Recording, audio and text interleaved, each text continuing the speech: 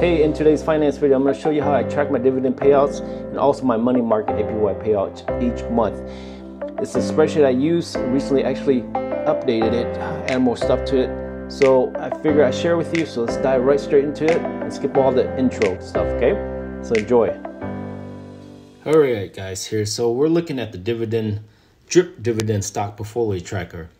This is one spreadsheet I created years ago, and over the years, I just updated and add more to it. And this year, what I did to it was I added a sort feature where you can calculate or where it can process the dividend payout per per year, so you can track over year over year. That's a nice little feature I add. So let's look at what how I track this here. First thing you're what you're looking at right now is a summary the summary is where you in, you just kind of look at all the information that gets input. Um, but let's go to the setup first. The setup is where you actually input all your stock ticker information, uh, current price. You got your, as you can see here, your current price, dividend target. You can track your dividend target. And here I have my information. I have my stock tickers on the left. And then you can add your location here. And of course, these are all pretty much USA. So I I left the bank, but you can add that all in there and make it make it cool because they're actually on the dashboard. There is a map that tracks where all your stocks coming from. So let's let's say I put um, here I put uh, like UK, and then it actually can will create a map for you in his computer. But we can go back there because it takes a while to process that. And this does have a a ability to update automatically. If you have Microsoft here, you can see if you have Microsoft 365, you can download their their software or the app where it actually um, or download into the spreadsheet that can automatic update your your ticker price. And I have do have that info here in the data entry tab to show you how to do that here. You can see but let's jump back here. But once you input all your current price, your dividend target, here's your dividend income. As here, I have my asset purchase. You can see I have my stock this year. I want my target goal is 80. Uh, deposit money is 100,000. So I, I want to track that. Once you put all that information, all that gets carried over into your your um, summary, your stock monthly dividend calendar. I know it's a lot of information I'm covering guys. Uh, it's a very elaborate spreadsheet, but it it is pretty neat because you can see everything that's grown and that's how you track it. Because I like to see, I like to see the dividend payout. As you can see here, you look into this monthly dividend calendar. I like to see how often I get paid and the total and the by month. So this calendar right here tells you all that. You can switch the years here. You can see you can switch the years. Um, I start tracking it last year in the middle of the month. Um, and then you can see here 2025 already got four payment. Uh, nice little thing you can track. And then you get all these charts. It's dynamic. gets updated automatically. Because if you let's say you do you add a, a ticker here, let's say AAA and automatic all across the spreadsheet, everything gets updated. Um, jumping back on the map here, you can see, I just want to go over before I, I jump back onto the other topic we're talking about.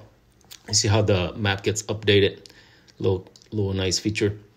But see, so once I add uh, AA in there, you can see how it gets updated uh, on there. And of course, the font's kind of small. You can zoom in or you can adjust your fonts, your color, everything you want to do.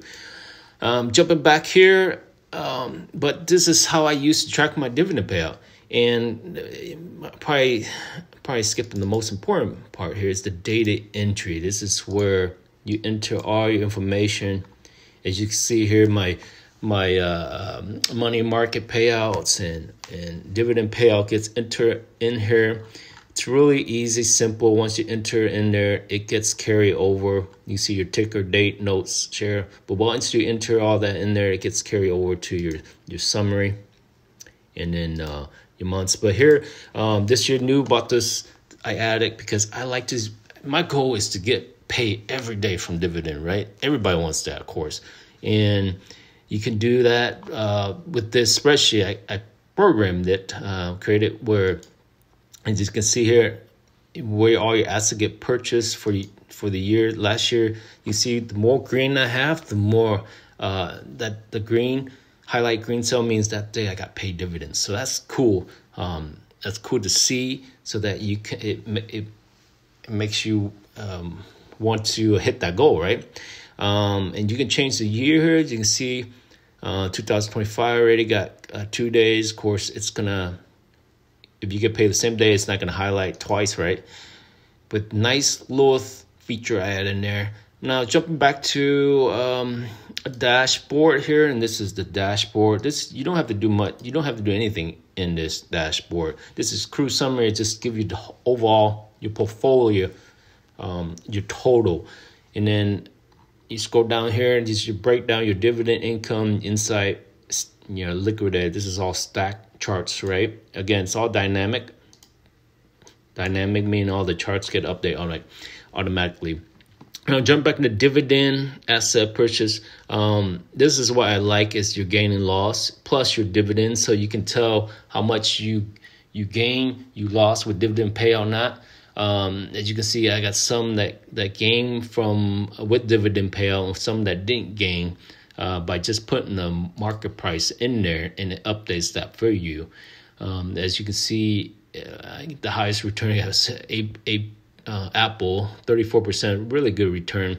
And I got, of course, one that's uh, not doing too well, but then you can see that it gives you visual manage. So next year you can, towards the end of the year, you can sell your stock that you lose, right? That that's a loss, and you can offset with the one that gains. So that's that's nice to have. So you can see that. But jumping back to, uh, I, recovered the calendar. Now jumping back to the stock monthly again. This you don't have to do anything.